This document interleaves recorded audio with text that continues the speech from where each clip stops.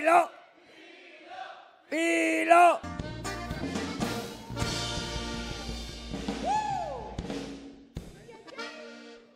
¿Cómo estás, Pilo? Por arriba, por arriba, Pilo. Oiga, oiga, con la novedad que todas las mañanas, con la, con la- con- con la novedad que todas las mañanas ya agarré de, de, de despertarme con toda mi tocaya, ¿Cuál es tu La tocaya? tocaya, Pilo. con toda la pila. con toda la pila. Pero, Esta producción es muy curioso.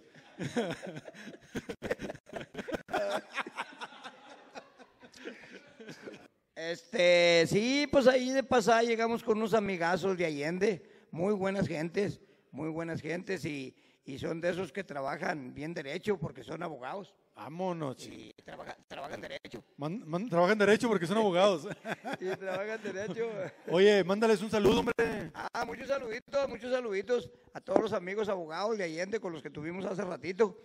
Una chulada, fíjese, una vez un amigo abogado andaba allá en, en la playa, andaba en la playa, este, y lo vio otro, así que lo conocía un poco, le dijo, oiga, dijo, usted a poco es el señorón abogado. Dijo, sí, dijo, aquí ando, este, en la playa. Dijo, ¿y qué anda haciendo? Le dijo el otro. Dijo, no, hombre, dijo, pues aquí, dijo, me dieron ganas de venir a, a robarle unos rayitos al sol. Le dijo el pelado, oiga, dijo, usted hasta cuando descansa trabaja. usted, usted hasta cuando descansa trabaja. Pasó algo bien curioso, el que contrató a Pilo dijo, voy a hacer una reunión con mis amigos porque voy a festejar que van a ser un hijo mío y quiero hacer una fiesta con mis amigos y pues organizó la fiesta, pagó el billete y pues porque él iba a tener un hijo, ¿verdad? Estaba muy contento, ese licenciado y luego platícales qué pasó, Pilo. No, hombre, pues eh, estamos, estamos, estamos con la duda de que no, tomo, no estamos muy seguros si me tardé yo o se adelantó el niño. El niño nació en la mañana, dijo el licenciado, chingada madre. Dijo. No, No, co- co- hombre. como quiera hizo la fiesta, ¿verdad? Sí, como quiera hizo la fiesta, pero ya ahorita como la tecnología está muy avanzada, este, tuvimos platicando por videollamada, este, porque, sí, porque sí, guau, se adelantó el niño. Hace rato, este, le, le- le- le tuvieron queriendo rascar tantito, a ver si le rasguñaban tantito oro, plata. A ver. A ver. A ver quién lo puede mostrar a la cámara para que lo vean. ¡Presúmelo, Pilo! Oye, ese, ese cinto fue utilizado en algún concierto de Bronco. Sí, pues los traían, los traían todos los amigos de Bronco, eh, este, Lu- Lupe Esparza y sus hijos. Los de antes, Pilo. Ah, los de antes. Los de antes eran los que traían Sí, de oro y plata. Sí, los de antes. Los de ahorita, los integrantes de ahorita traen de oropel. de Europea. Sí, sí, ahí guárdemelo. Oye, ahí, ahí dile, dile a, a Ramiro, dile a Ramiro que no nos enojamos si nos manda alguno por ahí, ¿eh? Sí, un- Pilo, acá, acá el compañero Pocho están pidiendo un chiste ahí con usted, ¿verdad? ¿Cuál están pidiendo ahí en su transmisión? Ah, el del enano millonario. cuál es ese? Oiga, oiga, pues es el enanito, e- ese, ese chiste se llama el del enanito millonario, porque un enanito que tenía muchísimo dinero, porque le tocó la de buenas que hacía como 8 o 10 años que se le había muerto la señora, este, y era la que era más gastadora. Este, oye, pues nomás se, se murió la señora a los 8 o 10 años, pues que se le acumula bastantísimo dinero. Y no, pues donde se vino a una parte donde estaba rodeado de puros mexicanos. Y no, pues ya ven que todos los mexicanos ahorita nosotros, este, aunque nos cobren los intereses altos, nos importa poco, como quiera quitamos y al cabo como con el pensamiento de no pagar. Este, oiga, pues le empezaron, le empezaron a fregar bastante dinero al enanito. Le empezaron a fregar bastante dinero al enanito prestado, con intereses bien altos. Pues sí, pero ¿de qué sirvió? Que los intereses fueran altos. Le empezaron a quedar bien mal. Se llegaban los meses y se llegaban los meses y nadie se arrimaba a pagarle. No, pues empezó a ponerse el enanito bien enojado, a, a- a hacer muchos corajes. No podía hacer coraje, los corajes son malísimos. Yo todos los que me deben estoy bien agradecido porque no me pagan. Eh, to- to- todo ese dinero no lo gasto. Este, oiga, pues que resulta que se empieza a enojar y cae a la cama. Oiga, pues dos compadres vecinos vieron que dos días y no salía el enanito y que tres días y no salía el enanito. No fueron a visitarlo. No, estaba el pobre enanito, cabrón, tenía posito en la cama, estaba echadito ya en la cama, tenía tres días de estar echadito en la cama. Dijo, no, oiga, vecino, venimos a verlo porque nos dio pendiente, porque ya no ha salido. Dijo, no, hombre, dijo, es que me tocó la de mala, dijo que por hacer coraje, dijo, ya caí a mi camita, dijo, y ya sentí que de esta camita no me levanto. Dijo, y pues no la frieguen, dijo, háganme el favor, dijo, de que cuando me muera, dijo, yo, yo quiero irle a tocar la puerta a San Pedro, porque quiero ir a, ir a entrar al cielo. Oiga, dijo, nomás que, pues para eso ocupaba haberse portado un poco dijo, se ha estado portando un poco mal con la gente. No, dijo, pues ¿quién no se va a portar mal? Dijo, pues me están quedando bien mal, dijo, con, con el dinero. Y entonces la cuestión fue que los compadres le dijeron, no hombre, dijo, ahora verá, dijo, cuando se muera, le vamos a hacer, lo vamos a hacer que haga, que entre a, a, al cielo y que le toque la puerta a San Pedro. Dijo, porque lo vamos a bañar bien bañadito, dijo, y bien rasuradito. Dijo, y donde llegue a tocarle la puerta a San Pedro, dijo, le avientas esta cancioncita. Le dice, naranja dulce, limón partido, dame un abrazo que yo te pido. A ver si se apendeja San Pedro, dijo, y te pasa como niño. Dijo, no, está bueno. Este, no, pues así le hizo, así le hicieron, así le hicieron los vecinos, le hicieron el favor de bañarlo bien bañadito y bien rasuradito. Y le dijeron que, que, que le cantara esa cancioncita a San Pedro cuando llegara allá al cielo. No, donde le tocó la puerta a San Pedro y le aventó la cancioncita. Este San Pedro se la regresó. Le dijo, será cená, no será lampiño, pero esos huevos no son de niño. el teléfono, ojalá y lo hayan grabado porque no lo van a volver a escuchar. Hasta la siguiente mención. Señores, bueno, pues muchas gracias la raza de Taquería Costa. Seguimos, seguimos, nos vamos hasta la barra. Allá con mi querido Poncho y invitados. ¡Ánimo! Muchas gracias, mi querido Richie. Ricardo Flores. Oye, oye, Pilo, ya tenemos muchos anunciantes, Pilo. Y nadie paga nada. Porque aquí lo están pidiendo para la gente de Linares, Nuevo León, de la mera petaca pilón, donde están las poderosas brujas en la petaca. Nunca ha sido con una Ha curadera. sido la petaca, Pilo. Oiga, pues no, no, pero hace muchos años, desde hace muchos años, eh, yo me acuerdo que dicen que el, el transporte de ellas era la escoba. Pues dicen, hace muchísimos años, dicen que andaba un señor con un brazadonón de escobas eh, por la calle, escobas a peso y escobas a peso. Oiga, pues que se encuentra otro que, que diciendo escobas a tostón y escobas a tostón. Oye, se pararon a platicar y le dijo que el, el que andaba vendiendo las escobas a peso, oye cabrón, dijo, ¿cómo es eso que andas vendiendo las escobas a tostón? Dijo, yo me robo la espiga, yo me robo la espiga, dijo, y casi no me sale el negocio, dijo, de venderlas a peso. Dijo, ¿cómo chingados haces tú para venderlas a tostón? No, hombre, dijo, porque ya me- yo ya me robo las escobas hechas. ¿Tú, tú crees en lo paranormal, Pilo? En lo paranormal. Sí. Oiga, pues eh, yo, me, yo me he dado cuenta que Jaime Maussan, sí. Y pues que cuesta uno también creerle. ¿Y qué decíamos Jaime Maussan? No, pues dicen que entre más, que entre más, más están llegando cosas extrañas a este mundo. Y nadie hace nada. Porque sí, bien curioso, bien curioso el asunto. Empe- empezaron a llegar extraterrestres y, y marcianos y, y cuánta cosa. Eh. Pero no, está bien curioso ese chiste, lo contaré. Lo contaré. A ver, aviéntatelo. No, porque este, un, un pelado que se quiso copiar de Jaime Maussan eh, eh, en un techonón eh, eh, citó mucha gente, a- este, anunció que se le juntara mucha gente para hacerles preguntas. Y no, pues se le juntó muchísima gente y un peladón así bien rancherón, así detrás de una fila de gente. Y entonces la primera pregunta que les dijo fue que si alguien de los que estuvieran ahí este, habían visto un ovni. Y no, pues levantaron la mano como unos cinco o seis mentirosos, cabrones, que habían visto un ovni. Y entonces la segunda pregunta fue que alguien de los que estuvieran ahí, que, que hubiera tocado un extraterrestre, que hubiera tocado un extraterrestre. No, pues también levantaron la mano como unos seis, siete, cabrón, mentirosos. Oiga, y luego la tercera pregunta, como que falló un poco el micrófono y se oyó medio roncón. Y la tercera pregunta fue, dijo, de que alguien de los que están aquí dijo eh, que, que- que se haya cogido un marciano. Y no, pues un, un pelado, un ranchero, cabrón, allá atrás, dijo, yo, oiga, yo, yo, yo, yo. Fue el único que levantó la mano.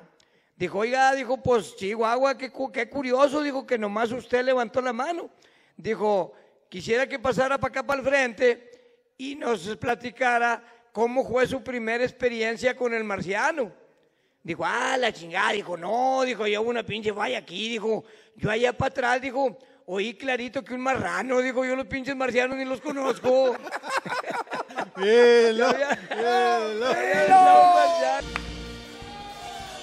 Ale, bienvenida como cada jueves. Muchas gracias por, por estar, estar con nosotros. A ver, platícanos Pues esa nos historia. volamos las cuerdas para ahorcarnos después del, después del casino. Con los del ca- Muy feo eso del casino. Oye, pero hay mucha gente que le gusta los casinos, ¿o qué? No, pues aquí casi a nadie. Casi a nadie. Están quebrando. A las No, familias, hombre, dijo. sí, qué brutos. No, pues a todo el mundo. Por- porque casi no gana nadie. Y nadie hace nada. Dicen que por, ¿Ah? eso, dicen que por eso le pusieron casino. Porque casi no hay quien salga bien ganado para su casa. Ya sé. No, pero me estaba acordando ahorita que contaste que se alivió el mero día, hombre, de la fiesta que tuvo Ah, la fiesta de hoy. la- en la que viene, de la que viene Don Pilo. Ah, sí. Y, sí. y- y me acordé de Sí, uno que, que- licenciado. que- que nació y que le dice el doctor a la, a la mamá, ¿verdad? Oiga, pues vamos a tener, le tuvimos que poner oxígeno. Dice la señora, ay, yo le quería poner Francisco, hombre, me hacía mucha ilusión. Ale, ale, ale. Oiga, oiga, hace poquito, hace poquito me acabo de, de- de- de oír uno, que dos hermanos, hijos de un matrimonio, este, que pues que bien curiosos, que la gente los miraba y como que se les hacía que no eran hermanos, porque uno tenía este, un, un- un pozo, un pozo aquí muy hondo en la cara. Y el otro no, el otro estaba sanito, muy Normal. muy, muy normal, muy bonito. Sí. Y hermanitos los dos. Y entonces, oye, cabrón, ¿a poco ustedes son hermanos?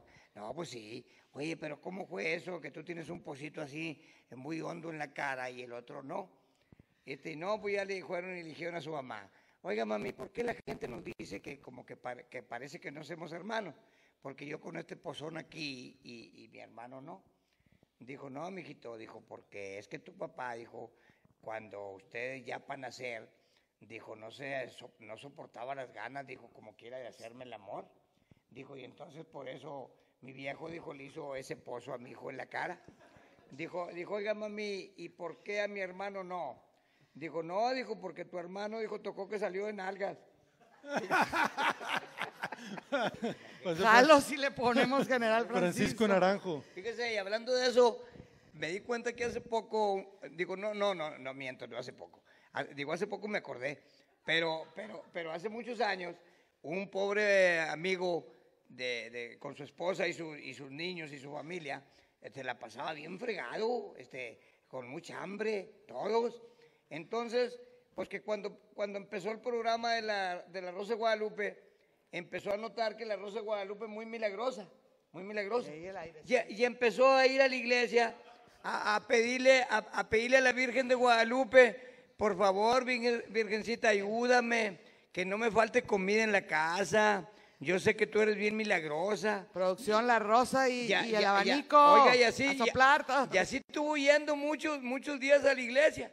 Y al padrecito no le empezó a querer muy bien. Le dijo al sacristán, oye, hijito, dijo, este, ahí escóndete, ahí escóndete donde no te mire. Dijo, y me está cayendo mal ese, ese, ese, hombre, esa persona que viene a pedirle mucho a la Virgen de Guadalupe. Dijo, escóndete por ahí donde no te mire. Dijo, ya, ya a ver qué le dices para que, pa' que a ver si ya no regresa. No, pues el sacristán se escondió detrás de un San Francisco. Se escondió detrás de un San Francisco. Y donde lo empezó a oír que, por favorcito, Virgencita, yo sé que tú eres tan milagrosa y tengo fe de que tienes que ayudarme para que en mi casa no pasen los hambres. Y le dijo el sacristán detrás de un San Francisco, lo que ocupas es, es trabajar, huevón, este, y te alivianas. Y volteó para atrás el pelado y dijo, oye, Pancho, yo a ti no te estoy pidiendo nada. Dijo, yo aquí le estoy pidiendo a Lupe. Yo aquí le estoy pidiendo a Lupe. Metiche. Que toque el acordeón Adrián Garza, que va también con Empalmes Cadereyta. Un pequeño palomas de propietario de Empalmes Cadereyta. Un tapilo, queremos sus chistes. A ver, Pilo, ¿quieres un Oye, es que? Pilo está bien entretenido con los, espal con los empalmes, mi querido Pilo. El micrófono, Pilo. que venía una, que venía una, una mujerona pasaporteada de Estados Unidos, porque las que vienen pasaporteadas pues vienen de Estados Viene de Unidos. Estados Unidos, sí. Ah, por algo Yeah. así me imaginé, sí. Oiga, y llegó, y llegó ahí a, a la colonia, allá a pesquería. Oiga, y parqueando un carronón, parqueando un carronón bien largo así por toda la acera, y con la cabeza así de fuera parqueándolo. Y le empezó a decir un amigo, ahí viene bien, prima, ahí viene bien, prima, ahí viene bien, prima, con confianza, dele, prima. Y no me la muchacha, la mujer viene enojona. Le digo, ¿por qué chingado me dice prima? Dijo, pues yo no chingados somos primos. Dijo, oiga, dijo, pues es que yo soy Garza. Por eso, digo, usted será Garza, pero yo no. No me dijo, es que yo me imaginé que también usted era Garza. Digo, porque qué pescuezo tan largo tiene. Pilo, pues ya estamos por irnos. ¿Te acuerdas de algún chiste más por ahí? Porque la raza está escribiendo aquí, oye, un chiste de Pilo, hombre. Quieren chistes de Pilo, muchos Oiga, chistes. pues voy a platicar uno, pero ojalá que les guste. Si al cabo es sin malicia. Es sin malicia, está feíto, pero sin malicia. De que una vez un pobre amigo que era muy fregón para rajar leña, pero rajando leña le tocó la de malas que vino y le dio un estía en un ojo y, le reventó un ojo. Este, y no, pues lo llevaron para Estados Unidos y allá le pusieron un ojón de vidrio. Le pusieron un ojón de vidrio bien fregón y un poquito, nomás que pasadito, un poquito más grandecito que el, de él. Este, oiga, y pues resultó que era muy bueno, pues le gustaba mucho tomar jaiboles. Le gustaba mucho tomar jaiboles. Y estaba en una cantina tomando jaiboles. Y entonces, este, pues le quedaba el ojo un poco grande.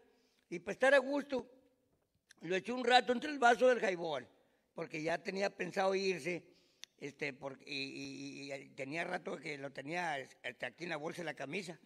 Y lo aventó al jaibol. Oiga, pues en una de esas ya para irse le hicieron plática, le hicieron plática. Y en el último trago, como dice, como dice José Alfredo Jiménez, en el último trago, este, oiga, pues no se tragantó el ojo. Se, se tragantó el ojo. No, pues en la torre. Se tomó el ojo que estaba en el vaso. Sí, se tomó el ojo Santo que estaba en el vaso. Se tomó el vaso, se tomó el, el- el- el ojo que estaba en el vaso, en el highball. Oiga, pues resulta que para el día siguiente, pues en la torre, este juez se le, juez se le puso en la salida, juez se le puso en la salida. Este, oiga, pues, no, pues ya le recomendaron uno de esos que, que checan próstatas. No me acuerdo si ginecólogo, reptólogo, quién sé qué. Proctólogo. Sí, proctólogo, un proctólogo.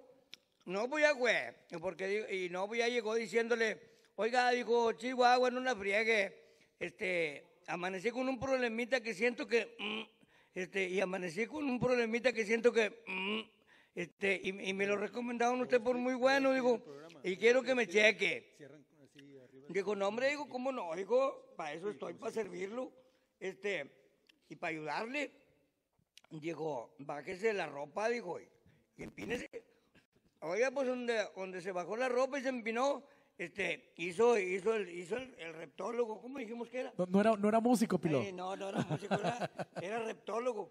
Eh, Oye, proctólogo. Proctólogo. Oye, no, hombre, pues donde se empinó, vio el pelado así como que se asustó tantito. Dijo, oiga, ¿qué pasó? Dijo, no me diga que, que es peligroso esto, esto que tengo. No, dijo, no, no, no, pues no es muy peligroso, dijo, pero nomás que me asusté tantito, dijo, porque este, es el primer jundillito, dijo, que me ve, que me ve él a mí. porque, porque trae el ojo de virus en la puerta. Muchas gracias a todos los patrocinadores, al Grupo Exento, Empalmes Cadereyta, Gracias. Cubalú, Grupo Cervecero Cadereyta, muchas gracias.